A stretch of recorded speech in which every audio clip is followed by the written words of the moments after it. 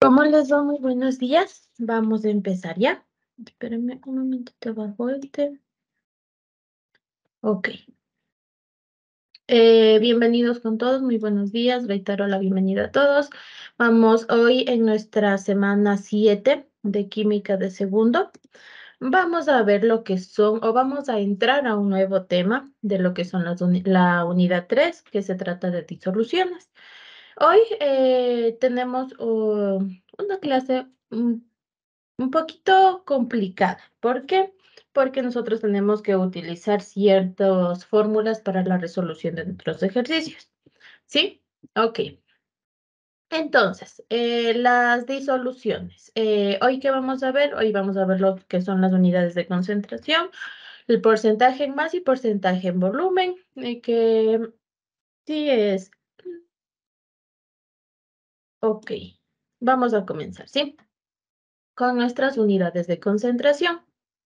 Eh, nosotros conocemos que una solución o una disolución, cualquiera de los dos nombres, solución o disolución, es una mezcla homogénea de dos o más compuestos en estado líquido, ¿sí? Que es una mezcla homogénea en donde los otros los elementos no los podemos ver a simple vista, ¿sí? Por ejemplo, una mezcla homogénea, ¿cuál sería? Eh, por ejemplo, el agua con el azúcar, el agua con la sal, o podría ser, por ejemplo, también la mayonesa, que sería una mezcla homogénea. ¿Por qué? Porque yo no puedo ver los componentes que lo integran, ¿sí? Ok. Entonces, una solución o una disolución es una mezcla homogénea de dos o más compuestos en estado líquido. Por favor, la clave para comprender las disoluciones es distinguir entre qué es un soluto, qué es un solvente y qué es la solución. Ok, entonces, ¿qué es un soluto? El soluto es la sustancia que se disuelve y que se encuentra o es el componente que se encuentra en una menor proporción, ¿sí? Y el disolvente, en cambio, es la sustancia que disuelve al soluto y es el componente que se va a encontrar en mayor proporción, por favor. Entonces, soluto, la sustancia que se disuelve. Componente que se encuentra en menor proporción. Disolvente, sustancia que disuelve el soluto y es el componente que se encuentra en mayor proporción, ¿sí?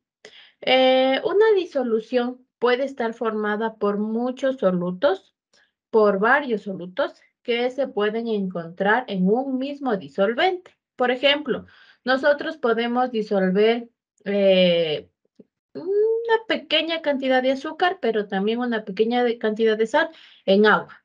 Es, entonces, ahí quiero decir que existen dos solutos en el disolvente o está solo en, en nuestra, o solo está en la misma disolución o está en la, que conforma una misma solución, ¿sí?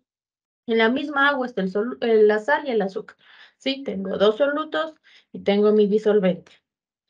El soluto y el solvente pueden estar eh, presentes en estado sólido, en estado líquido o en estado gaseoso. Y pueden ser una mezcla de cualquiera de estos tres estados, ¿sí? Eh, por ejemplo, eh, si nosotros tenemos en una disolución sólida, nosotros si nosotros tenemos la unión de sólido con otro sólido, se va a producir una aleación. Si nosotros tenemos, por ejemplo, un líquido con un sólido, eh, no sé, por ejemplo, tenemos ahí la arcilla húmeda, un líquido con un sólido. El gas en un sólido, por ejemplo, está el hidrógeno en paladio, que son los dos gases. Eh, no, que es el hidrógeno un gas y el paladio es el sólido. En cuanto a la disolución líquida, por ejemplo, pueden estar eh, un sólido disuelto en un líquido, por ejemplo, ahorita ya le, dijimos el azúcar en el agua, el líquido en un líquido, por ejemplo, cómo se disuelve el alcohol en el agua, eh, y también puede estar disuelto un gas en un líquido, por ejemplo, las bebidas gaseosas, el dióxido de carbono que se encuentra en una cola. En cuanto a las disoluciones gaseosas, por ejemplo, pueden estar disueltas un sólido en un gas, por ejemplo, con, no sé si han visto las partículas de polvo cuando les coge los rayos del sol se ven clarito que están en el aire. De igual manera, el líquido eh, puede estar un líquido en un gas, por ejemplo, los aerosoles o los gases inmersos en otros gases, por ejemplo, en el aire, como se encuentra eh, conformado el aire. Existen muchas disoluciones en las que la proporción de los componentes puede ser variada, pero en el caso de sólidos disueltos en solventes va a ser, un va a ser diferente, porque hay un límite en la cantidad de que un sólido se pueda disolver en ese líquido, ¿sí? Ok, entonces, eh, ¿qué quiero decir con esto? Perdón, se me fue. ¿Qué quiero decir con esto? Que siempre hay un límite en la cantidad de sólido que podemos disolver en cierta cantidad de líquido. Por ejemplo, si nosotros disolvemos el, típico, eh, sal en agua. Vamos, a ver que si le ponemos un poquito se disuelve, ¿verdad? Pero si le seguimos, seguimos poniendo más y más y más y más, y ya va a haber un punto en donde la sal ya no se va a disolver, ¿sí? O sea, es decir, esa solución ya, mm, la, mi líquido ya no va a poder disolver esa sal.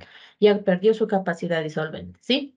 Es por eso que yo digo que siempre hay un, cuando se trata de un sólido, un líquido, siempre va a haber un límite en la cantidad de sólido que va, se va a disolver. Ok. Entonces, vamos ahora con las unidades de concentración en sí. El comportamiento de las soluciones no solamente depende de la interacción entre el soluto y el disolvente o nuestro solvente, sino también dependen de la cantidad que se encuentran en estas sustancias.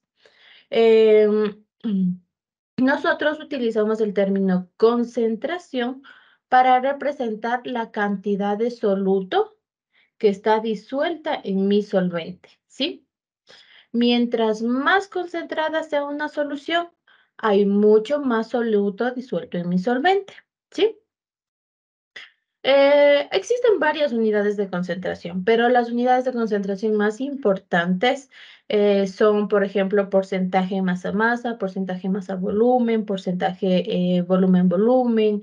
de igual manera, nosotros tenemos lo que son las partes por millón, o si no, también tenemos la molaridad, la molalidad y también la fracción molar, que eso lo vamos a ver poco a poco en nuestras clases. Empecemos con nuestra primera unidad de concentración. En este caso tenemos el porcentaje en masa.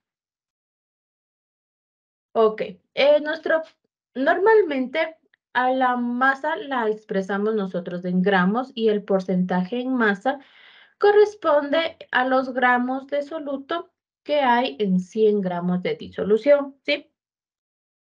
Hacemos que todo nuestro componente sea el 100%, ¿sí? El 100% de nuestra disolución. Es por ende que eh, el porcentaje en masa va a corresponder a los gramos de soluto que yo tengo en 100 gramos de mi disolución, ¿sí? Eh, las masas de soluto y disolución eh, siempre deben expresarse en las mismas unidades, ¿sí? Puesto que un porcentaje no tiene unidades, es decir, si nosotros vamos a trabajar la masa de soluto en gramos, nosotros vamos a trabajar la masa de disolución también en gramos. Si nosotros trabajamos masa de soluto en gramos y la masa de disolución en kilogramos, no se puede hacer nuestra relación porcentaje en masa. Nosotros debemos eh, transformar, ¿sí? Con nuestras unidades de conversión, ¿sí? Ok. Em, de igual manera, en cuanto a las unidades de concentración, nosotros eh, tenemos eh, varias concentraciones. Según la proporción de soluto y disolventes, nosotros podemos clasificar nuestras unidades de concentración en soluciones diluidas, en soluciones concentradas y en soluciones saturadas. Las diluidas es la, si hay una pequeña cantidad de soluto. En las concentradas, en cambio, si la cantidad de soluto es elevada respecto a nuestro disolvente. Y en cuanto a las saturadas, si el soluto está en la máxima proporción posible eh, respecto al disolvente. ¿sí? Ok, entonces, ahorita en mi porcentaje masa, en mi porcentaje en masa o el porcentaje en masa-masa, eh, ¿Cuál es nuestra fórmula? Nosotros podemos verla aquí, que es porcentaje en masa es igual a qué? A nuestra masa del soluto sobre masa de, de disolución por 100%.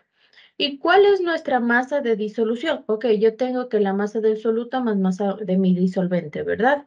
Entonces, mi masa de disolución es igual a mi masa de nuestro soluto más mi masa de disolvente, ¿sí? Como tal cual nuestra formulita que le tenemos aquí, ¿sí? Entonces, eh, ¿cuál es el porcentaje masa-masa que nos indica? Pues nos indica o corresponde a los gramos de soluto que hay en 100 gramos de disolución, ¿sí? Por favor, tener en cuenta que es importante tener eh, o expresar la masa de soluto y la masa de disolución en las mismas unidades para que se puedan simplificar, porque el porcentaje no tiene unidades, ¿sí? Ok, entonces,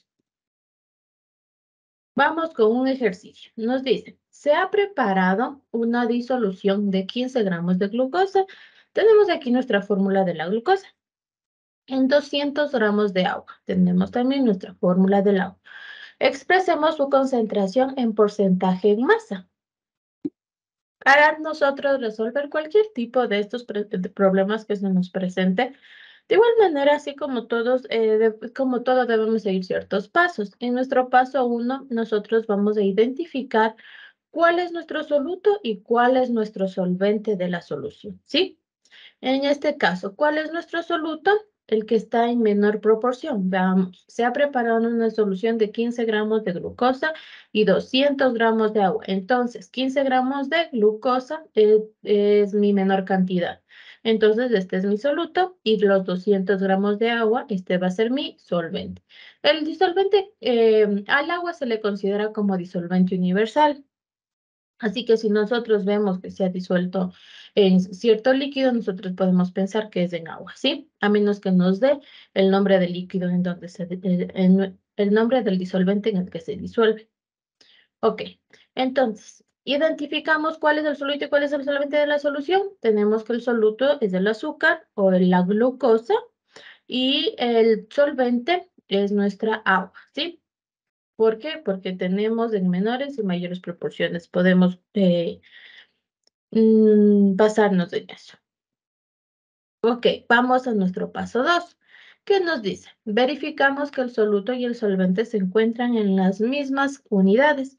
Si no es así, nosotros los vamos a transformar con nuestras unidades de conversión. ¿sí? En este caso, el, el, azúcar tiene 15 gramos de glucosa o azúcar. Eh, el agua dice 200 gramos. Entonces, vemos que los dos se encuentran en las mismas unidades. Por lo tanto, yo puedo sacarle eh, la masa de mi disolución. ¿Por qué? Porque en mi fórmula me pide, ¿no es cierto?, la masa de disolución. Entonces, vamos a ver, en el paso 3 vamos a obtener la masa de disolución, en donde la masa de disolución que va a ser igual a la, mi masa del soluto más mi masa del solvente. Entonces, ¿cuál es mi masa de disolución? Masa del soluto que son 15 gramos, más la masa del solvente que son los 200 gramos, sumamos una suma normal que nos da 215 gramos. Y finalmente vamos a reemplazar en la fórmula para nosotros obtener el porcentaje masa-masa. Por ejemplo, aquí, porcentaje en masa es igual, nuestra, esa es nuestra fórmula, masa del soluto sobre masa de disolución por 100%, ¿sí? En nuestro porcentaje en masa, la masa del soluto, ¿cuál es? Son los 15 gramos. La masa de disolución, ¿cuál es? Los 215 gramos, porque es masa de disolución por 100%. Vemos que nosotros tenemos gramos, gramos, las mismas unidades, en este caso lo simplificamos, ¿sí? Y nos queda en porcentaje en masa que es 6,97%. Es decir, que hay 6,97% de, de nuestra glucosa eh, o que está presente la glucosa en un 6,97% en nuestra solución. Ok. Vamos ahora con, nuestra, con nuestro porcentaje volumen, volumen, ¿sí? Ok, entonces, el porcentaje en volumen de una disolución, ¿qué va a indicar? Indica el volumen de soluto que hay en 100 unidades de volumen de nuestra disolución. ¿sí? Es casi parecido al porcentaje más amplio. Entonces, ¿cuál es el volumen de la disolución? eh, va a ser el volumen de soluto más el volumen de mi disolvente. Eh, el volumen, ¿cuál es nuestra fórmula de nuestro porcentaje volumen-volumen? Es el volumen del soluto sobre volumen de disolución por 100. La que vemos aquí, ¿sí? Es tal cual, es parecido a lo que vimos la anteriormente. Entonces, aquí tenemos, eh, no vemos, aquí con respecto a esto, el porcentaje en volumen lo vamos a emplear o lo empleamos para expresar concentraciones de disolución cuyo soluto va a ser líquido o cuyo soluto es un gas. Es decir, sustancias que nosotros podemos medir el volumen en qué? En mililitros, en litros o en metros cúbicos, ¿sí? Para eso nosotros utilizamos el porcentaje de volumen volumen para cuando eh, tenemos, por ejemplo, eh, si nosotros queremos encontrar qué porcentaje de alcohol se encuentra en agua. Para eso, el alcohol está líquido, el agua está líquida, ¿sí? Así que ahí vemos el porcentaje volumen-volumen. Para recordar, eh, como les mencioné, igual manera en el porcentaje de masa-masa, aquí en el porcentaje volumen-volumen, el volumen del soluto y el volumen del disolvente deben expresarse también en las mismas unidades. ¿Por qué? Porque el porcentaje no tiene unidades, ¿sí? Si yo mi volumen del soluto le trabajo en litros, el volumen de disolución lo voy a trabajar en litros. Si yo el volumen de mi soluto lo trabajo en mililitros, el volumen de mi disolución va a ser trabajada en mililitros, ¿sí? Ok, entonces vamos con un ejemplo. De igual manera, nosotros tenemos pasos para eh, poder nosotros realizar este tipo de ejercicios, ¿sí? Vamos con, los, vamos, con nuestros vamos con nuestro ejercicio y con los pasos. Entonces, aquí dice, se ha preparado una solución mezclando 300 mililitros de agua con 125 mililitros de metanol y 25 mililitros de etanol. Determinemos la concentración en volumen de dicha solución. Para nuestra resolución de los ejercicios de porcentaje volumen-volumen, siempre debemos seguir ciertos pasos. En este caso, ¿cuál es nuestro paso 1? Identificar cuál es el soluto y cuál es el solvente de nuestra disolución. Entonces, para ello, ¿qué es un soluto? El soluto es el componente, el que está en menor proporción eh, que nuestro disolvente, ¿sí? Eh, entonces, aquí, ¿cuál vemos que es nuestro soluto? Nos dice que hay 125 de metanol y 25 de etanol. Entonces, tenemos aquí dos solutos. ¿sí? Tenemos el metanol y el etanol. Y tenemos aquí el agua, en este caso los 300 mililitros de agua. Ok, de igual manera, nosotros para este ejercicio siempre recordamos que nuestro, nuestro soluto puede estar conformado por dos sustancias, ¿sí? Vamos entonces con nuestro paso 2. Ahora vamos a verificar qué tanto o sí, qué porcentaje se puede decir así, de soluto y de nuestros solventes se encuentran en las mismas unidades. Eh, si no se encuentran en las mismas unidades, nosotros debemos transformarlas, ¿sí? En este caso vemos que nuestro soluto 1, los 100 125 mililitros de metanol y nuestro soluto 2 de 25 mililitros de metanol se encuentran en las mismas unidades, es decir, en mililitros. Ahora nosotros vamos a obtener el volumen de la disolución. ¿Cómo nosotros lo obtenemos? Pues sumando. El volumen de la disolución, ¿qué, ¿cuál era nuestra fórmula? El volumen del soluto más el volumen del disolvente, ¿verdad? Entonces, como aquí tenemos tres datos, sumamos los tres. En este caso, el volumen de disolución va a ser igual a qué? A los 125 mililitros de metanol, a los más los 25 mililitros de etanol más los 300 mililitros de agua, ¿sí? En este caso, nuestro volumen de la disolución entonces es 450 mililitros. Y en el paso 4, finalmente nosotros vamos a reemplazar en la fórmula para nosotros poder obtener el porcentaje en volumen para cada uno de estos solutos. En este caso, el porcentaje en volumen, ¿a qué va a ser igual? a nuestro volumen del soluto sobre el volumen de la solución por 100%, nuestra fórmula general. Ahora, el porcentaje en volumen del metanol. ¿Por qué? ¿Por qué? Porque el porcentaje en volumen, como les mencioné, el porcentaje de volumen volumen eh, se utiliza para determinar qué volumen de mi soluto o qué porcentaje de volumen de mi soluto está dentro de mi solución, ¿verdad? En, este caso, tenemos dos solutos, por lo tanto, vamos a, calcular dos porcentajes el del metanol y el del etanol. Entonces, el porcentaje en volumen del etanol ha sido 27,77%, ¿sí? Es decir, que eh, reemplazamos aquí en el porcentaje en volumen de metanol, reemplazamos todos los datos que tenemos. El volumen de nuestro soluto, en este caso solo del metanol, que son 125 mililitros, los que tenemos aquí, ¿sí? 125 mililitros. Y el porcentaje de nuestra disolución, que en este caso son los 450 mililitros por 100. Y el porcentaje en volumen, ¿cómo, eh, ¿cómo lo saco yo? De igual manera, reemplazando nuestra fórmula. El volumen del soluto, en este caso ya del etanol, los 25 mililitros de etanol sobre los 450 mililitros por 100 que nos da igual a que a 5,55% de etanol. Entonces, en mi disolución, digamos que yo tengo en un frasquito, eh, aquí mi disolución, ¿sí? Mi agua mezclada con el metanol y el etanol, ¿sí? En, esa, en ese vasito con esa disolución va a tener el 27,77% de metanol y el 5,55% de etanol, ¿sí? Hasta ahí lo que es porcentaje, volumen, volumen. Entonces, aquí les he traído eh, unos ejercicios para que también ustedes puedan realizar, puedan familiarizarse y puedan también resolver con mayor exactitud su deber, porque también tenemos el ejercicio ahí, ¿sí? Dice, en la etiqueta de una botella de vinagre se puede leer que tiene un 8% de ácido acético.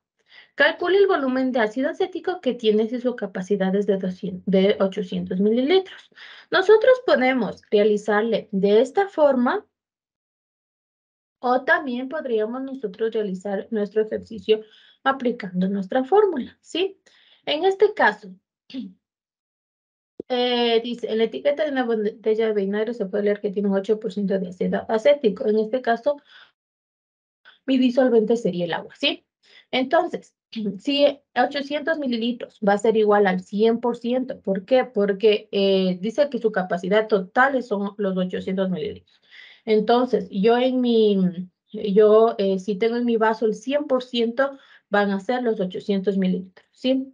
Entonces, ¿cuántos mililitros van a corresponder al 8%? Al 8%? Nosotros ponemos, podemos hacer por la regla de 3 o nosotros podemos despejarla de aquí. Entonces, eh, X, eh, los 800 mililitros, que va a ser mi 100%, el 8%, ¿cuánto será? Es una regla de 3. Aquí ponemos X, es igual. Eh, la regla de 3 se hace mm, en diagonales, 800 por 8 y sobre 100, ¿sí? Que nos va a dar 64 mililitros. Hacemos esta resolución y nos va a dar 64 mililitros eh, que tiene de ácido acético en mi solución, ¿sí? Ok, también podríamos nosotros aplicar nuestra fórmula del volumen-volumen, en donde reemplazaríamos nuestro volumen de disolución, reemplazaríamos también mi porcentaje en volumen, y eh, eh, quedaría el 100 abajo y sacaríamos prácticamente lo que es el volumen de nuestro soluto. ¿Sí? Ok, tenemos otro ejercicio aquí que nos dice, determina cuántos gramos de sulfato de sodio tenemos nuestra fórmula Na2SO4. Eso 2 es como, eh, como super, subíndice, ¿sí? Abajo. El 4 también es como subíndice están contenidos en 500 gramos de disolución de esta sustancia al 1.5% en masa. Entonces, dice, determina cuántos gramos de sulfato de sodio están contenidos en tantos gramos de disolución de esta sustancia al, 1,5% en masa. ¿Qué nos da a nosotros? Eh, prácticamente aquí en todo ejercicio nosotros sacamos los datos. ¿Cuál, ¿Qué datos nosotros tenemos? Que nuestra masa de disolución es 500 gramos. Que nuestro porcentaje en masa de, sulfato de sodio, en este caso eh, da el 1,5%. Entonces, ¿qué hacemos aquí? Aquí nosotros lo vamos a reemplazar en nuestra fórmula del porcentaje en masa. ¿Por qué es porcentaje en masa? Porque nosotros hablamos de gramos, no hablamos nosotros de mililitros, litros para coger el porcentaje del volumen. Entonces, ¿a qué se refiere este, este porcentaje en masa? Este se va a relacionar a la masa de soluto presente en toda mi disolución. Entonces, nosotros reemplazamos todos los datos que tenemos en nuestra fórmula. Nosotros tenemos masa de disolución, que son los 500 gramos. Tenemos el porcentaje en masa, que es 1,5%. Tenemos el porcentaje.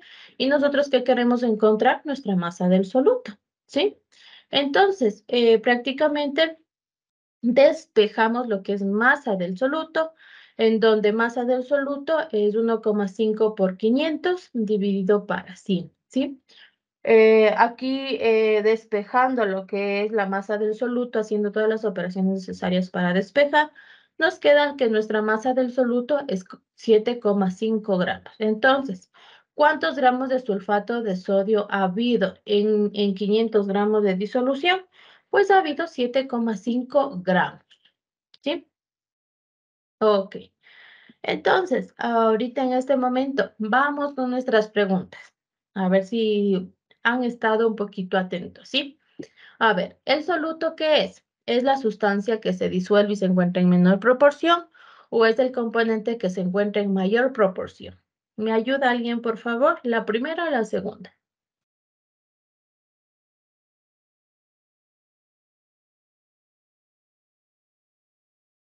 ¿Alguien? ¿El soluto qué es? ¿Es la sustancia que se disuelve y se encuentra en menor proporción o es el componente que se encuentra en mayor proporción?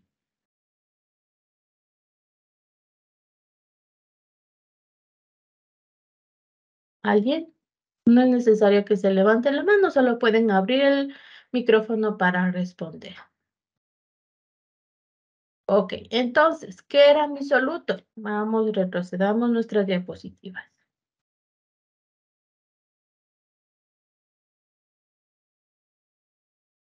Eso lo vimos primerito. En nuestro soluto es la sustancia que se va a disolver y es el componente que se encuentra en menor proporción. Y el disolvente, ¿cuál es? Es la sustancia que va a disolver al soluto y es la que se encuentra en mayor proporción, ¿sí? Ok, entonces, ¿cuál respuesta es aquí? La correcta, la primera. Aquí nos dice, el porcentaje en volumen, volumen de una disolución indica el volumen de disolución que hay en 100 unidades de volumen o el volumen de soluto que hay en 100 unidades de volumen de disolución. Yo sé que esto parece un trabalenguas, ¿no? Pero el porcentaje en volumen, volumen de una disolución va a indicar el volumen de un soluto que hay en 100 unidades de volumen de disolución. Es tal cual, el porcentaje en volumen, volumen el porcentaje masa, masa va a determinar el volumen o, la cantidad de soluto que hay en, en mi disolución, ¿sí? Y tenemos como último, ¿a qué sustancia se le considera como disolvente universal? Esto está facilita, así les mencioné. ¿Al alcohol, al agua o al ácido acético? Ok, entonces, a la sustancia que se les considera como disolvente universal, pues es nuestra agua, ¿sí? La respuesta es la segunda. Ok, entonces ahora vamos con su tarea, eh, con su actividad de la semana 7. ¿Cuál es? Pues se encuentra en la página 25, que nos dice, se han mezclado 25 mililitros de zumo de fresa con 115 mililitros de leche. ¿Cuál es el porcentaje en volumen de la disolución? ¿Y qué nos dice aquí? En la etiqueta de, una botella de vinagre se puede leer que tiene un 4% de ácido acético. Calcula el volumen del ácido acético que contiene su capacidad de 750 mililitros. ¿sí? Prácticamente el segundo ejercicio es uno parecido al que le hicimos. Ustedes tienen ya las pautas para hacerlo. De igual manera, eh, el primer ejercicio prácticamente nos dice que cuál es el porcentaje en volumen de la disolución. Ahí tienen que aplicar en los dos tienen que aplicar el porcentaje en volumen, volumen. Sí. Ok. Entonces, ¿cuáles son las características de la actividad? Como ustedes conocen, por favor, hacerlo a mano. Debe de tener el encabezado de la institución. tratar de no cometer faltas ortográficas y tratar también de que su deber sea legible, ¿sí? Que se entienda. Eh, como ustedes conocen, el envío de deberes es a bienestar estudiantil, que lo pueden realizar hasta el viernes de la próxima semana. Y el horario de atención, si tienen alguna inquietud, alguna duda de mi parte, es por medio de WhatsApp, ¿sí? De igual manera, mi horario de atención es de lunes a jueves de 6 a 8 de la noche, ¿sí? Ok. ¿Alguna inquietud, alguna duda sobre lo que hemos visto el día de hoy?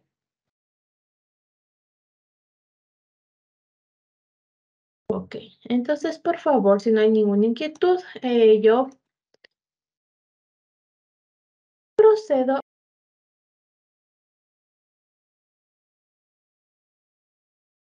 Bien, ah, ¿qué vamos a ver en cuanto a los contenidos de física en la semana 7 para segundo de bachillerato?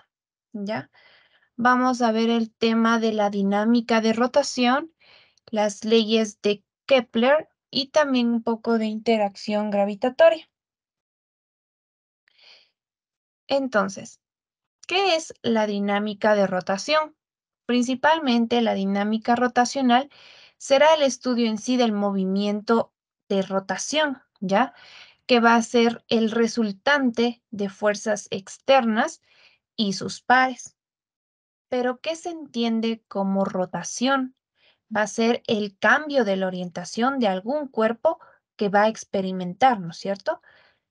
Dado un punto cualquiera del mismo y este permanece a una distancia constante de un punto fijo. Este, eh, la dinámica de rotación siempre se representa como un eh, operador que va a afectar a un conjunto de puntos o de vectores. Tenemos el siguiente ejemplo en el cual podemos observar que este, este objeto está girando, se está ejerciendo cierta tensión de las cuerdas y también va va a ejercer el movimiento de este otro objeto el giro de estos dos objetos. Entonces, estamos hablando que se representa mediante un operador que va a afectar a un conjunto de puntos o a un conjunto de vectores. Dentro de, eh, de esto también entra lo que es el movimiento angular. El momento angular se denomina también como momento cinético, ¿ya? Y va a ser una magnitud vectorial. ¿Ya? Es decir, un vector que va a tener ese módulo, sentido y dirección. Esta se refiere al estado de rotación que van a tener los cuerpos en un punto fijo. Se representa con la letra L y con una flechita encima, es decir, se representa como un vector. De acuerdo al Sistema Internacional de Unidades, esta va estar medida en kilogramos por metro cuadrado dividido para segundo. Entonces, cuando estemos hablando de un momento angular de una partícula en general o de una masa respecto a un punto en específico, va a ser en sí la cantidad de movimiento de esa partícula en ese punto específico. Este generalmente se obtiene eh, al multiplicar el vector de posición eh, de la partícula por el momento lineal.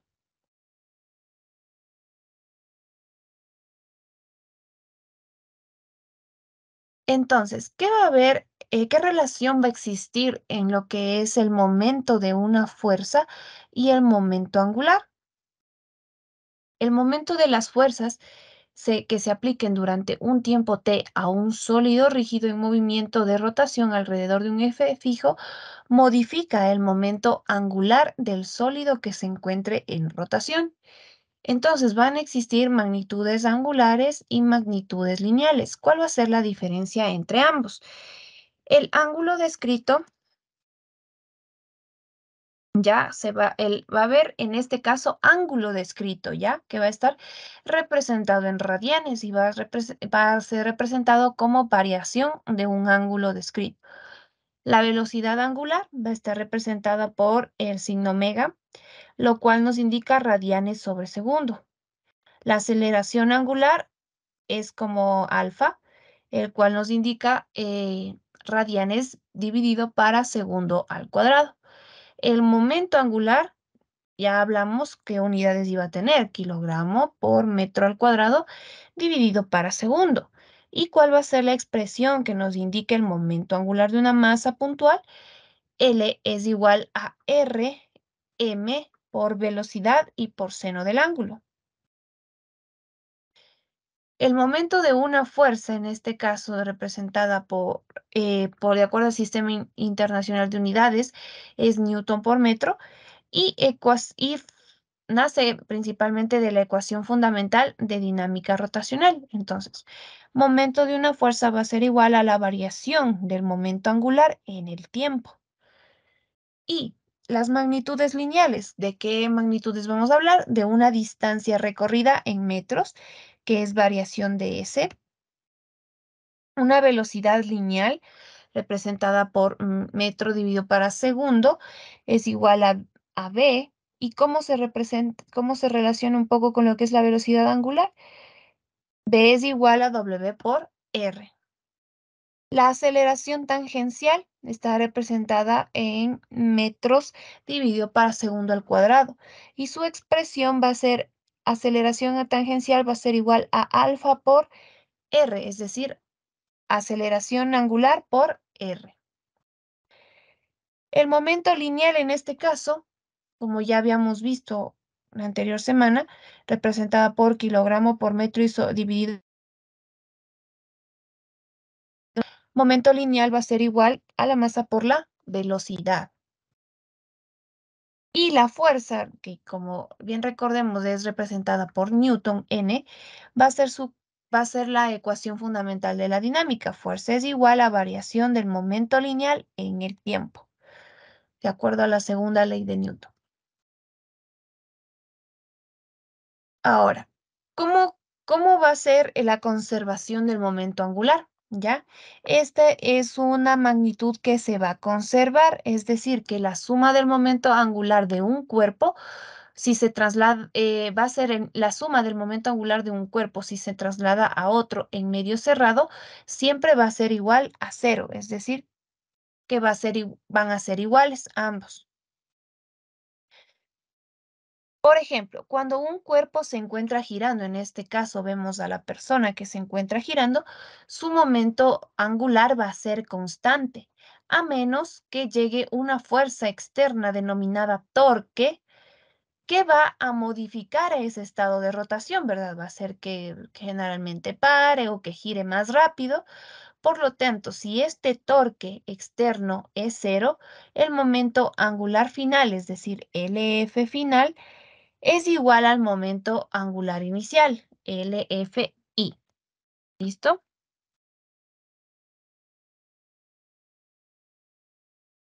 Ya. Pasemos a otro tema que son las leyes de Kepler. Estas son denominadas también como leyes del movimiento planetario, las cuales describen cómo sucede lo que es el movimiento de los planetas alrededor del Sol. Reciben el nombre de leyes de Kepler debido a su creador, que es Jonas Kepler. Estas generalmente son leyes cinéticas, es decir, que su función es describir el movimiento planetario de acuerdo a eh, deducciones matemáticas. Bien, entonces son tres leyes fundamentales. La primera nos va a decir que los planetas se mueven de forma elíptica alrededor del Sol, el cual se sitúa en uno de los focos de la elipse, ¿ya? Entonces, mm, no, no van a girar en forma circular como antes se creía, sino en forma elíptica, como podemos observar en, en el gráfico. Y el Sol va estar ubicado en alguno de los focos, es decir, en alguna parte de acá, de acá, de acá, de acá, de sus focos. Esta primera ley de Kepler se conoce como, ley, como la ley de las órbitas también, pues como bien nos dice, estas determinan que los planetas giran alrededor del Sol eh, de forma elíptica, donde el Sol se encuentra en uno de los focos. La segunda ley de Kepler. Acá ya nos habla un poco sobre la ley de las áreas, la cual específicamente nos dice que el radio vector que une a un planeta con el Sol barre áreas iguales en tiempos iguales. Bien.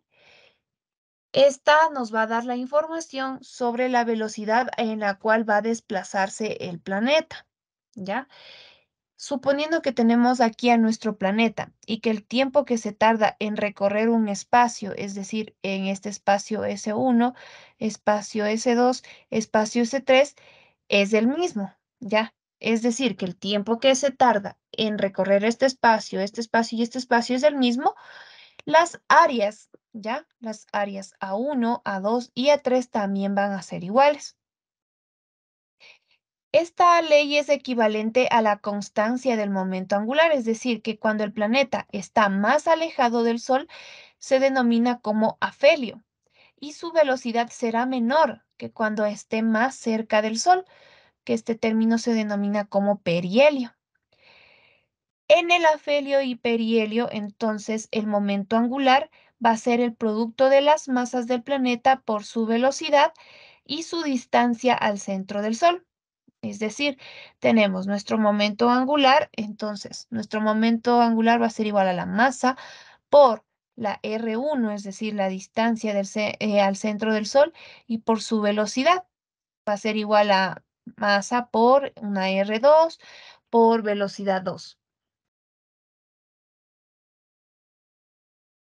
Y la tercera ley de Kepler ya nos habla generalmente de la ley de los períodos o también ley de las armonías, la cual esta ley principalmente permite comparar las características de los planetas tomando en cuenta su período orbital y también el radio de la órbita, lo cual va a surgir una expresión la cual nos indica que para cualquier planeta el cuadrado de su período es directamente proporcional al cubo de la longitud del semieje mayor a su órbita.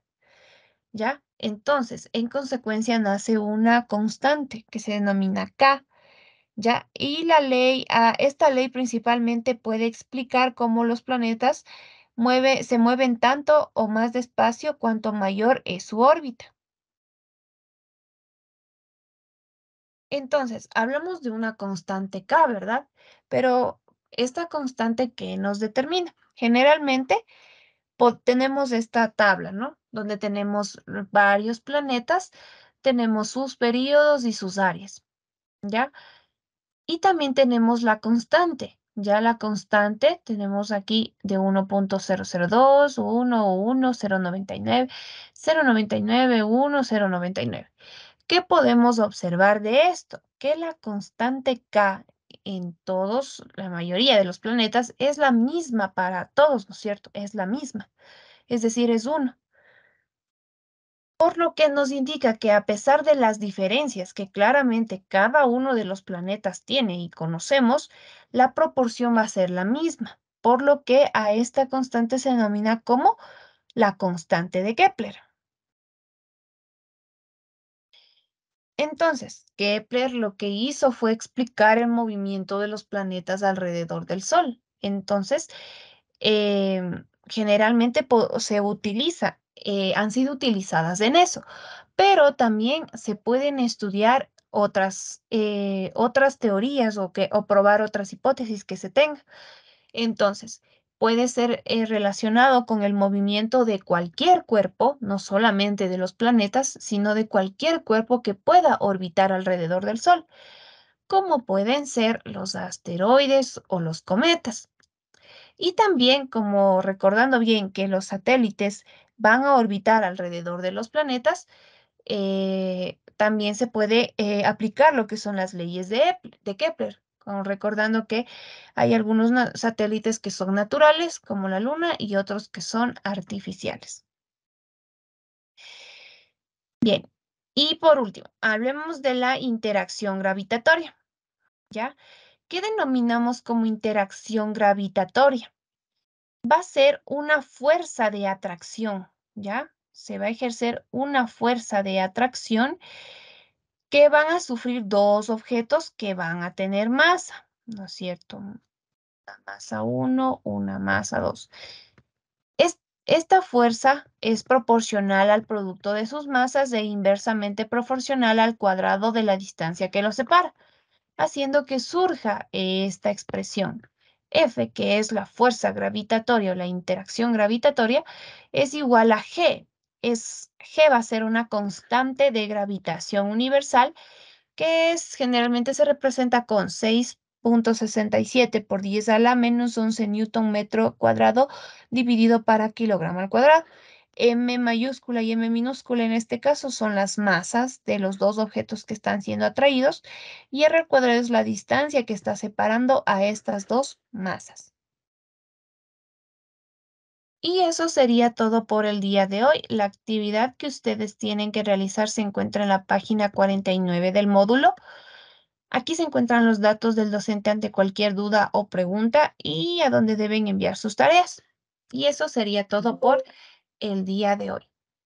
Si tienen alguna duda o pregunta, no duden en realizármela.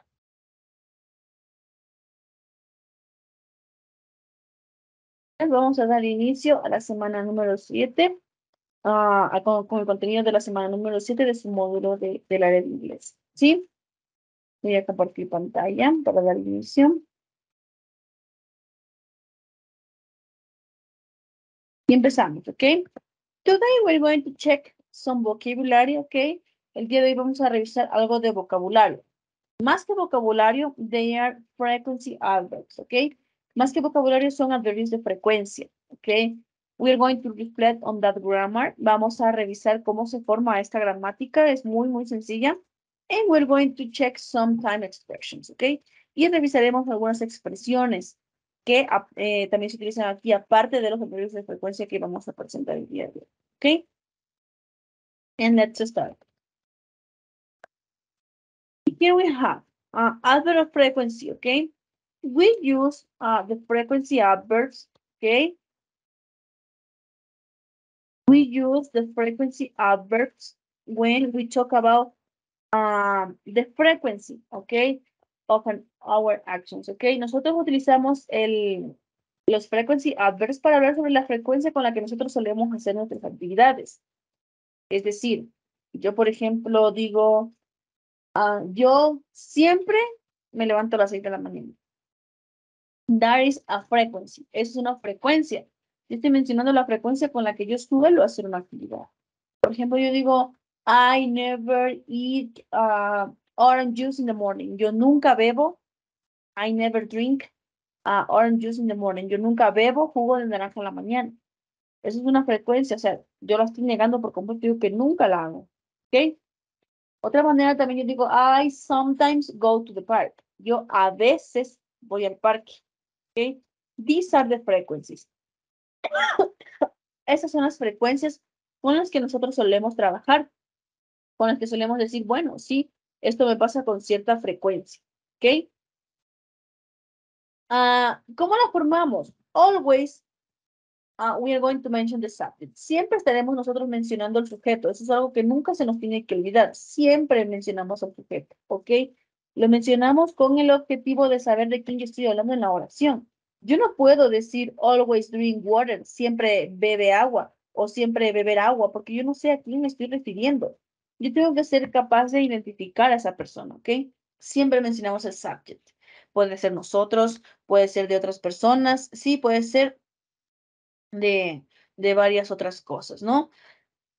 Eh, justo después del subject, voy a mencionar el adverb of frequency, ¿ok? Siempre después del sujeto voy a mencionar el adverbio de frecuencia del que yo estoy hablando. Ya sea always, usually, normally, often, sometimes, occasionally, never, ¿ok? Ya vamos a ver el significado de ellos. Y después de esto yo utilizo el verbo. Es como en español, yo digo, yo siempre como. Tres cosas, sujeto, adverbio de frecuencia y mi verbo principal. ¿Ok? Miren. Ese es el orden de nuestros adverbios de frecuencia, cómo los nosotros los utilizamos. ¿Ok? De la forma interrogativa, yo siempre voy a utilizar uh, mi pregunta con el how often, con qué frecuencia. El how often quiere decir con qué frecuencia. Yo le digo, How often uh, do you eh, do you go to the park? ¿Con qué frecuencia vas al parque? ¿Verdad? Yo digo, I always go to the park. Yo siempre voy al parque. O I sometimes go to the park. Yo a veces voy al parque. Ya depende de la frecuencia que realmente usted tenga. ¿Ok? Y la forma afirmativa, que es la que yo les mencioné. Sujeto, adverbio y mi verbo. Aparte de ese, a veces, siempre, nunca, casi nunca, a menudo, existe otras expresiones que no van ubicadas precisamente ahí después del sujeto, van ubicadas, por ejemplo, a veces al final. Yo digo every day, cada día, ¿ok? Uh, every week, cada semana. Every morning, cada mañana. ¿Sí? Y eso van al final. Por ejemplo, yo digo, uh, yo me desayuno cada mañana. Si se fija dónde está ubicado, al final. Yo digo, nosotros celebramos Navidades cada año. El cada año, everything. ¿Ok? Depende eh, realmente cómo se le quiera dar el énfasis. O yo le puedo decir al, al inicio, digo, every year I celebrate Christmas. Cada año yo celebro Navidades. ¿Ok? Esas expresiones que no, ah, que son un poco más específicas pueden ir ubicadas al inicio o al final. También tenemos otras que dicen once. Once quiere decir una vez. Twice quiere decir dos veces.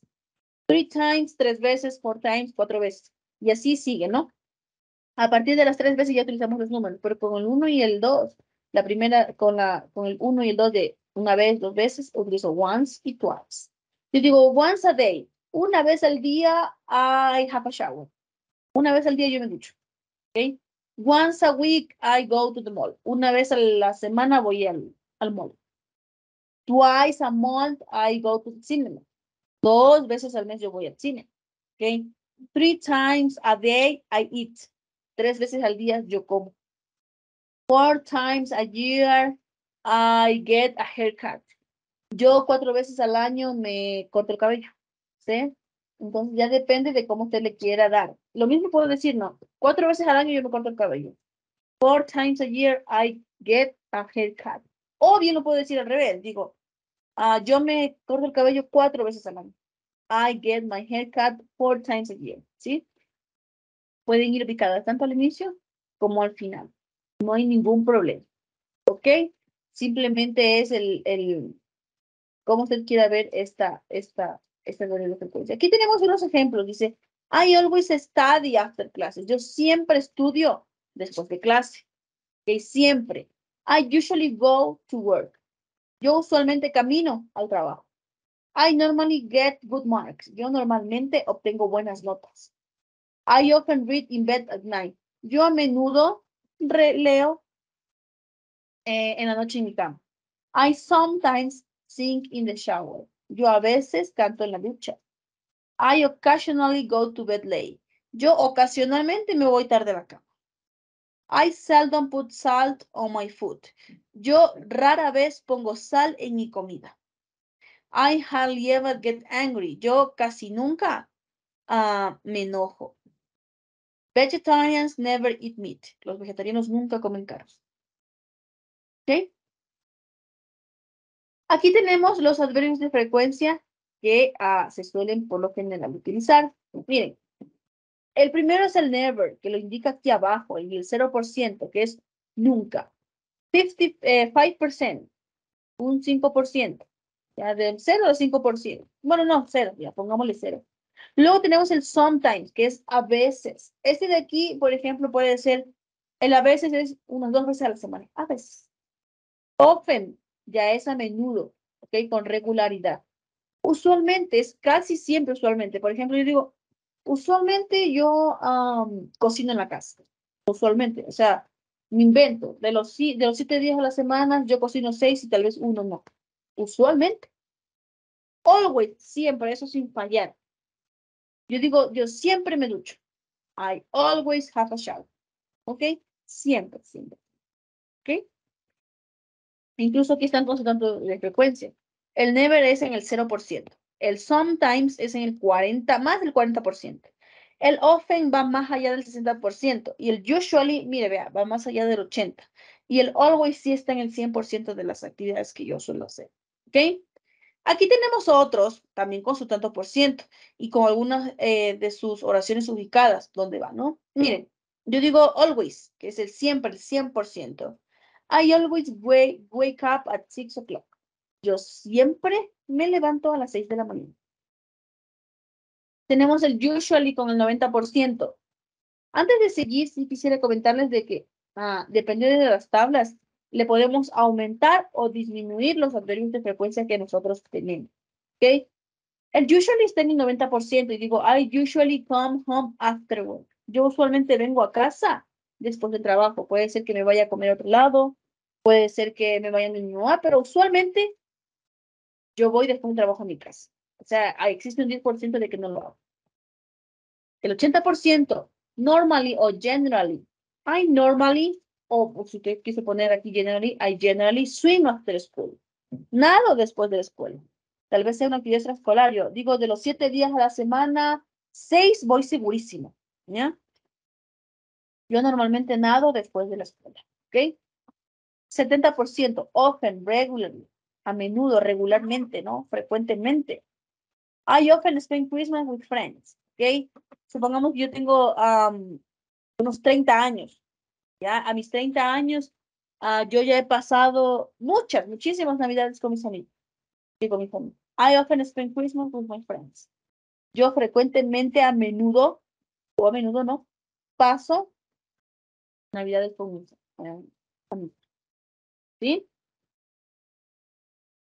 Tenemos el sometimes. Ese sometimes es, uh, es la mitad, 50%.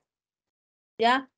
Eh, yo digo que lo hago eh, un 50%. I sometimes play tennis on weekends, ¿ok? Yo a veces juego tenis los fines de semana. Es decir, que de los cuatro fines de semana que tiene el mes, yo dos me voy segurísimo a jugar. I sometimes play tennis on weekends, ¿ok? Yo puedo decir, I sometimes eat, um, I sometimes drink milk in my breakfast. Yo a veces desayuno leche en mi eh, tomo leche en mi desayuno, ¿ok? De las de las siete días de la semana, estoy segura que unas tres lo tomo, tal vez saltando un día, pero yo lo hago a veces. Occasionally, ocasionalmente, ¿ok? Ocasionalmente un 30%. 30% imagínense de, las, de los días de la semana. Porque aquí dice, I occasionally eat Vietnamese food. Yo ocasionalmente como comida de Vietnam, vietnamita, ¿no?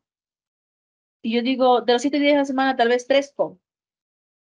¿Ok? O puede ser que yo hable del año. Yo digo, en el año de los 12 meses, ah, tal vez comí una vez por tres meses. eso es ocasionalmente, o sea, es raro, ¿ok? Seldom.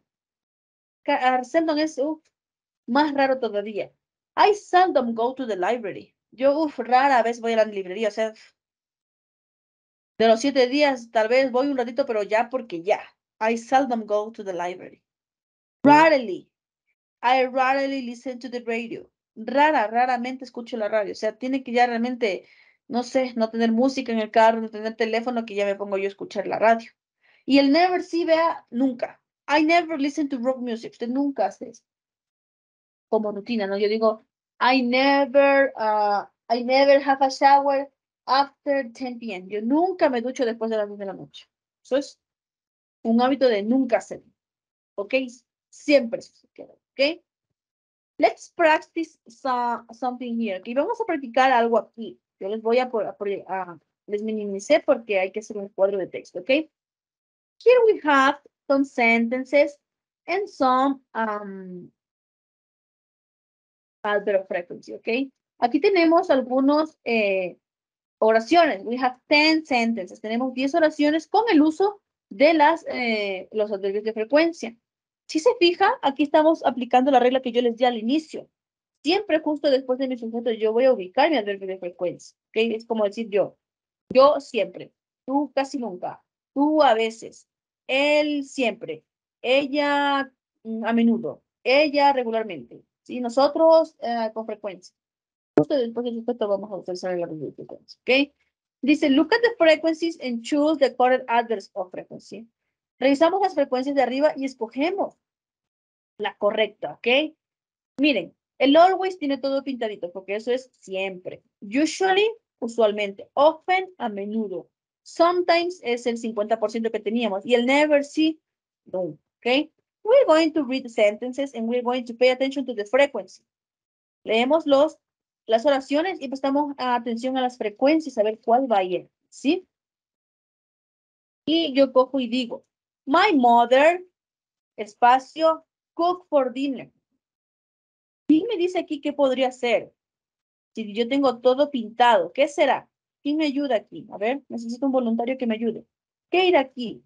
Está todo pintado, simplemente es cuestión de poner el albergo que, al que se hace referencia. ¿Quién me dice qué va aquí? ¿Alguien que me ayude, por favor? ¿Qué ir aquí? ¿Qué ir aquí? A ver. ¿Nadie me ayuda? My mother, miren, my mother y tiene todo pintado. Always cooks for dinner. Mi madre siempre cocina la merienda. ¿Ok? La number two. Resulta que tengo uh, el usually, que es usualmente. I, ¿sí? Usually exercise in the evening. Yo usualmente me ejercito en la noche. ¿Ok? Recuerde el orden, sujeto, adverbio de frecuencia y a mi complemento. Nivel, pues. ¿Quién me ayuda la number three? La number three dice, I, espacio, go to school at 7 a.m. ¿Quién me ayuda aquí? ¿Algún voluntario tal vez? Que me diga, va esta opción. ¿Nadie? ¿Nadie? Ok, la number three dice, I Go to school at 7 a.m. Tiene tres espacios. Tres de que no lo hace. Aquí es often. I often go to school at 7 a.m. Yo uh, regularmente, con frecuencia, ¿sí? Voy a la escuela a las 7 de la mañana, ¿sí? Esto de aquí, tal vez, imagínense, tal vez de... Es más fácil interpretar, ¿no? De los siete días a la semana, cuatro um, me voy a las 7 y los otros tres eh, entro a las 7 y media. Ya depende, ¿no? La number four dice, she get home at 8 p.m. Ella a casa a las 8 p.m. Y resulta que tengo solo dos. Aquí es sometimes. Ella a veces llega a la casa a las 8 p.m. Ok, sometimes. Aquí ya depende mucho de, por ejemplo, em, las actividades que tenga que hacer en el trabajo, ¿sí? Y por eso ella tal vez no llegue tan puntual a la casa o que llegue a 8, que llegue otros días a las 7 o así, ¿no? Cambio. La number 5 dice, we espacio watch TV while eating. Nosotros vemos la tele mientras comemos. Tenemos aquí que nunca, el never. We never watch TV while eating. Nosotros nunca vemos la televisión mientras comemos. ¿Ok? Les digo así, ¿no? Un ejemplo. I never, I never eat, let me see. I never eat rice. Yo nunca como arroz en la noche, por ejemplo. Por ejemplo. ¿Ya? La number six dice Michael. Michael, y tenemos allí, veamos allá arriba qué corresponde con frecuencia. Y usted que es often. Michael often play video games. ¿Ok? Michael, con frecuencia, ¿sí? A menudo juega videojuegos. Ya, por ejemplo, aquí también es fácil marcar. ¿Por qué les ponen a veces casi siempre eh, los siete, las siete bolitas? Porque hay que hacerla, hay que tener la comparación con los siete días de la semana para nosotros tener una idea de lo que, cómo ocurren las cosas, ¿no? Y resulta que de los siete días de la semana, cuatro juegan. Por eso decimos a menudo, con frecuencia, ¿no? La number seven dice, they have lunch together. De los siete días a la semana, ellos nunca, they never have lunch together. Ellos juntos almuerzan juntos. Tal vez estamos hablando de una familia, ¿no? Papá, mamá, hijo, pero por trabajo y escuela, pues no se pueden encontrar para el lunch. La number eight dice you, tú. Okay, you sleep in my class. You always sleep in my class. Tú siempre te duermes en mi clase. Siempre te duermes en mi clase. You always sleep in my class. Okay, siempre. Es muy fácil, ¿no? Em, identificar con qué frecuencia se hacen las actividades mirando, por ejemplo, arriba, cómo se están identificadas, ¿ok? O sea, cómo, cómo están marcadas. Es importante decir que esto varía, ¿no? Encontramos tal vez un autor que diga, ponga, por ejemplo, cinco bolitas, y el always será el cinco, y el sometimes será el dos, y así. Pero pues siempre tenemos que nosotros tener esta, este patrón marcado, ¿ok? Es así como en los adverbios de frecuencia con las barritas que les mostré, van variando por el porcentaje, ¿ok? La number nine dice, I chat online with my friends, with friends. Yo, espacio, chateo en línea con mis amigos. Y tenemos el sometimes, ¿ok? Sometimes. ¿Sí? Como les dije, yo no estoy muy de acuerdo en el que le han dado aquí, porque el sometimes es realmente a veces, y el a veces varía mucho varía muchísimo. El a veces varía muchísimo. Siempre tiene que estar en la mitad. Y sin embargo, aquí le dan una connotación que es por debajo de la mitad, cuando no es así. Eh, la mitad es, pues, eso significa la mitad. De los siete días a la semana, tres son seguros. Bueno, miren, de los siete le pone apenas dos. Y no estamos de todo lo correcto. Usted mete en su cabecita que el sometimes es el 50% de algo. ¿Ok? I sometimes read a book. Yo a veces leo un libro. ¿Ya? Tres días seguro voy a leer, tal vez o como yo digo, I sometimes uh, go to school by bus. Yo a veces voy a la escuela en bus, ¿ya? No puede ser dos, porque estas dos es casi nunca, es rara vez, ¿sí? Conjunto con los adjetivos que les presenté anteriormente, ¿ok? Los adverbios, perdón, que yo presenté anteriormente. La number 10 dice, we, espacio, play football together.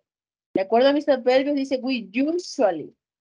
Nosotros usualmente jugamos fútbol juntos. Tal vez nos estemos refiriendo, si se fija aquí a la escuela. De los cinco días que yo voy a la escuela, los cinco juego y los otros dos, pues como no voy, pues no juego. Pues yo digo usualmente. Usualmente.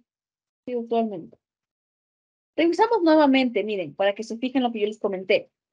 El nunca sí está en el cero, ese es eh, algo fijo. Y el always también, que es el siempre. En las que varían es en las otras. El sometimes, mire dónde lo ubica aquí está en el 50%, que es donde debe de estar. ¿Ok? El a menudo, ¿ok? Que es el often, está por encima del 60%. Os tenemos ya, póngase en el 60 y 70%, ¿ya? Mientras que el usually, que es a menudo, está más por encima del 80%. Tal vez yo digo un 85%, entonces casi infallable. Ya realmente es, es por ejemplo las actividades extraescolares que nosotros solemos tener. Yo digo, yo usualmente uh, tengo piscina los martes y jueves. ¿Ok? Usualmente. Puede ser que ese día cambie o lo que sea, pero usualmente son esos días. Así siempre. Rara sea la vez. ¿Ok? Aquí, como les mencioné, teníamos um, los mismos, pero ya aumentados más, ¿no? Recuerden que así, depende de la tabla que le den, usted siempre los debe de ubicar justo después del sujeto. Siempre debe de seguir esta regla, esta estructura, ¿no? No es que esté mal si no lo hace así. Eh, con las expresiones que, por ejemplo, le di anteriormente, que pueden ir ubicadas al inicio o al final. Esas son especiales porque son más específicas. Porque si yo le digo sometimes, yo sé que de la semana son tres días o el 50%, pero no me indica qué días es eso. No me indica exactamente qué días voy yo a hacer esa actividad. ¿Ok? Por eso es importante siempre cuando nos manden a hacer alguna actividad, nosotros ver eh, con qué frecuencia lo hace. ¿Ok? Les comento la actividad que tienen para esta semana. Es muy parecida a la que acabamos justo de practicar. Aquí usted tiene uh, oraciones en las que debe de poner, solo debe de escribir el adverbio de frecuencia que usted debe de utilizar aquí, de acuerdo al grafiquito de las estrellas que le da. El always tiene todo pintado. Usually menos uno. El often menos dos. El something justo la mitad. Y el never sí no tiene pintado nada. Usted debe de prestar atención a las estrellitas y simplemente escribir el adverbio de frecuencia que corresponde. Muy sencillo. ¿Sí?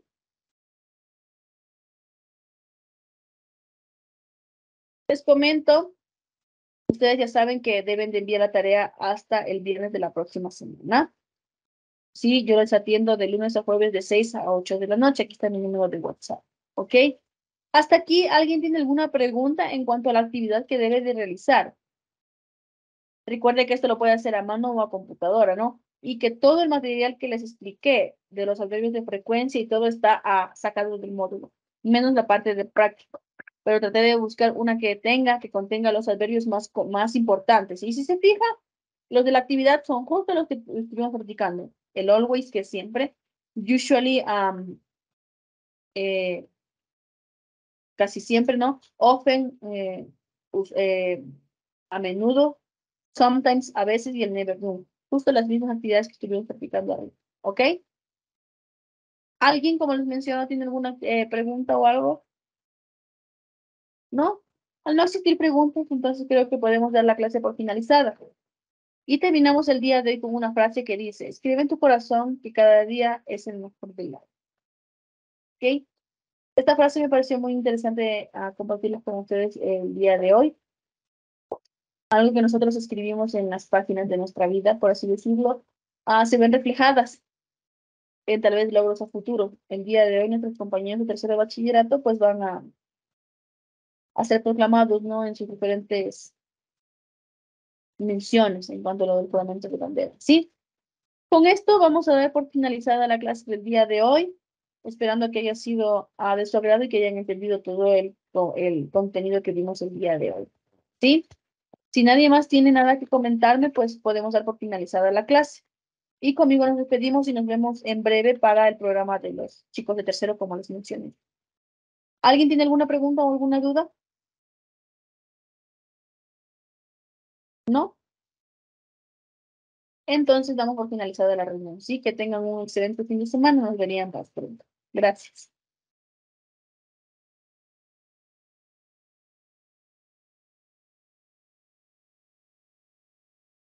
Estamos con la materia de lengua y literatura en la clase de segundo bachillerato en la semana número 7.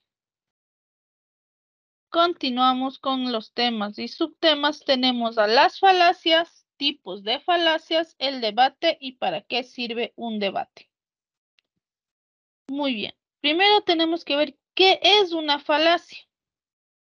Una falacia es un razonamiento que a pesar de parecer un argumento válido, no lo es. Nuevamente, parece un argumento válido, chicos, pero no es un argumento válido. Comenzamos con eso. Parece un argumento válido, pero no lo es. Se trata, por tanto, de una línea de razonamiento que es errónea y las diferencias que se presentan como producto de estas no pueden ser aceptadas. Independientemente de si la conclusión a la que se llega a través de una falacia es verdadera o no. Por ejemplo, quería ser la pura casualidad. El proceso por el cual se ha llegado a este defectuoso para que valiera menos que la lógica. ¿Qué quiere decir esto? La falacia es un argumento que parece verdad, pero no no es verdad, es algo que no tiene que ver. Nosotros con esto también tenemos a los tipos de falacias. Tenemos a la falacia ad hominem, dirigiendo contra el hombre. ¿Qué quiere decir esto? Es un razonamiento por el cual, en cambio, presenta, se presenta o parece ser adecuada a una determinada posición o conclusión. Se ataca o se desacredita a la persona que la defiende. ¿Qué quiere decir esto de falacia ad hominem? Es literalmente una falacia, un tipo de argumento errado que presenta razones para debatir una determinada posición, pero en vez de eso ataca a la misma.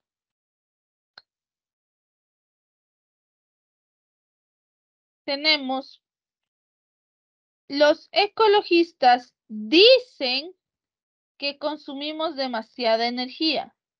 pero no hagas caso porque los ecologistas siempre exageran. Este tipo de argumento es una falacia porque no tiene un argumento sólido que se pueda debatir, simplemente es una opinión dirigida. Tenemos a la falacia ad veridicum, que esta apela a la autoridad. ¿Qué quiere decir? El, el razonamiento o discurso en lo que se defiende una conclusión u opinión no aporta razones. Ojo, no aporta razones. Sino que apelando a alguna autoridad o a la mayoría o a alguna costumbre. Es preciso observar que en algunos casos puede ser legítimo recurrir a una autoridad reconocida en la rama, pero no siempre es una garantía. ¿Qué quiere decir? Que esto simplemente es el ah, tomar un argumento de una autoridad, un argumento de alguna autoridad o de la mayoría, para contemplar lo que yo estoy afirmando o contradiciendo. Tenemos a la falacia ad baculum, que esta apela a la bastón. ¿Qué quiere decir esto? El razonamiento en el que para establecer una conclusión o una posición no se aportan razones, sino que se recurre a la amenaza. Entonces, podemos decir que la falacia a baculum es la que establece o recurre en vez de razones, recurre a una amenaza, a una base de intimidación. Por ejemplo, tenemos no vayas a trabajar a la tienda con este piercing. Recuerda que quien paga, manda. Esta es una falacia básica de ad baculum.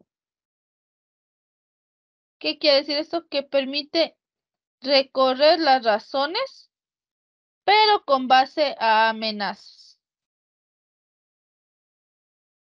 Tenemos a la falacia ad imaginitiam, que es por la ignorancia.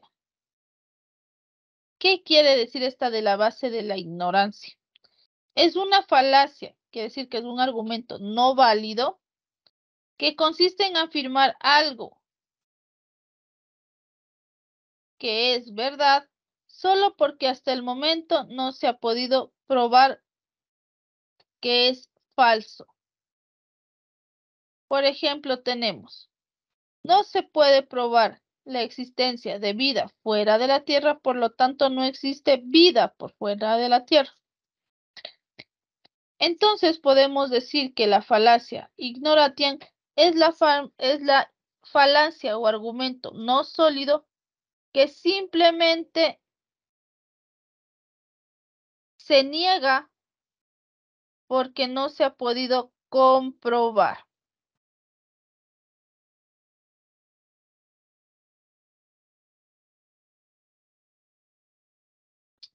Tenemos a la, a la falacia ad populum o dirigida para el pueblo que provoca emociones. Consiste en afirmar algo que es la opinión favorable de la gente en lugar de presentar razones. Suele utilizar un discurso populista o seductor. La mayoría de las personas son creyentes y piensan que Dios existe. Por lo tanto, es verdad que Dios existe. Entonces tenemos a la falacia ad populum o la falacia o el argumento de la gente que si todos creemos lo mismo, será verdad. Entonces podemos decir que las falacias parecen argumentos, pero no lo son ya que no son válidos tenemos a la falacia ad hominem, que es literalmente presentar razones adecuadas con una determinada posición en la cual se ataca o se desacredita lo que diga la otra persona. Tenemos a la falacia Berecudian, que en cambio esta menciona que las razones no son las apropiadas y se ejerce una autoridad. Tenemos a la falacia baculum, que en cambio menciona que se aportan razones, pero se recurre a la amenaza. Tenemos a la falacia ad ignoratiam, que es en cambio la falacia en la que, aunque no se puede comprobar en un futuro, automáticamente ya se la niega. Tenemos a la falacia ad populum, que en cambio es la falacia en la que se suele utilizar o se llega a afirmar algo simplemente para la base favorable de la gente o porque la gente piensa que es verdad.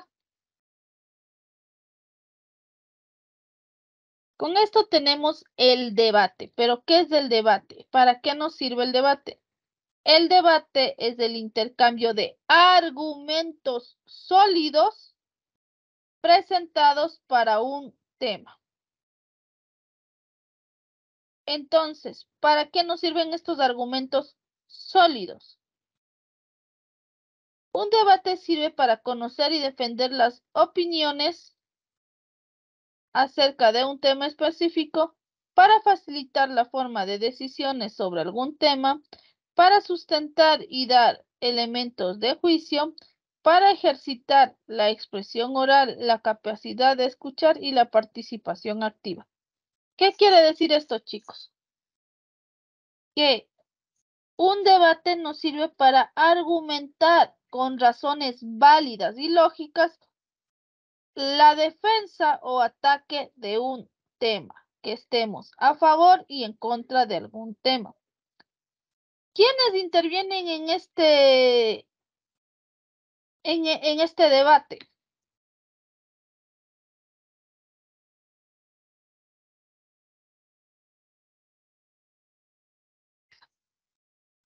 ¿Quiénes intervienen en este debate, chicos? Los participantes son los oponentes. Quiere decir que uno esté a favor, que uno esté a favor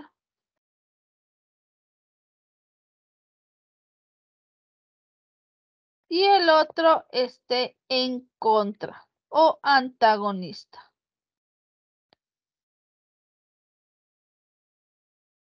Pero ¿para qué nos sirve? ¿Cómo podemos decir para que estas dos personas o combatientes o debatientes puedan estar en un juicio tranquilo? Entonces existe un moderador. ¿Y qué hace este moderador? Este moderador no está a favor o en contra de alguno de los dos debatientes. Simplemente les entrega turnos para que puedan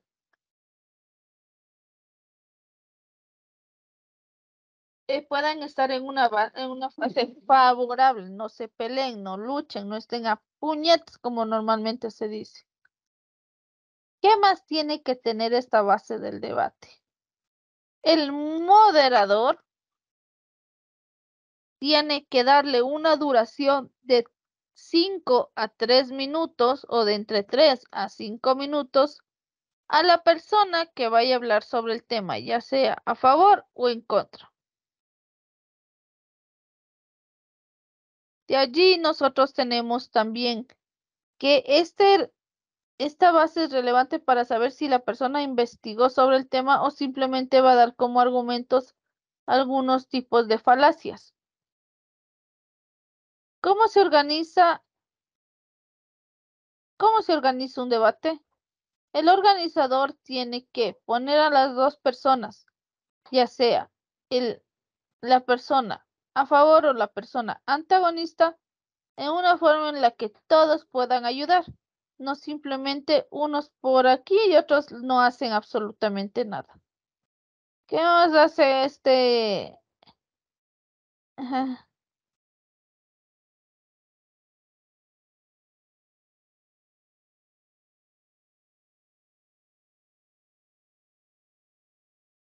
¿Qué más hace esto, chicos? Este es el que causa controversia. Al momento en el que los dos están organizándose, los dos grupos se están organizando, este da una base de controversia, que quiere decir que va a hablar sobre la base que está a favor y todos sus argumentos y toda la base antagonista. Las recomendaciones para participar en el debate es el que en toda actividad oral, tanto el emisor como el receptor deben oír. ¿Qué quiere decir esto? El que está a favor y el antagonista o el que está en contra de esto tienen que aprender a oír todo lo que está pasando. Tienen que oír si este argumento es válido o simplemente una falacia. Hablar con seguridad. Nos ayuda bastante el hablar con seguridad porque nosotros estamos empapados del tema. No imponer el punto de vista personal. Recuerden que los puntos de vista no son argumentos, simplemente es un punto de vista, es una opinión unilateral. Con eso, chicos, les presento la tarea de esta semana que es de la página 105. La tarea que dice, identifica el tipo de falacia que tienen las siguientes oraciones.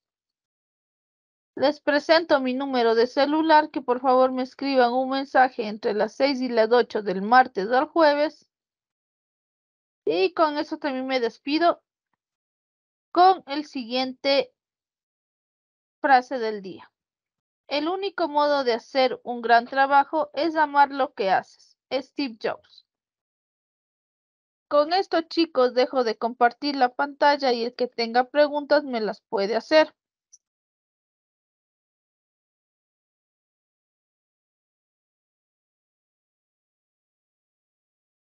Chicos, ¿tienen alguna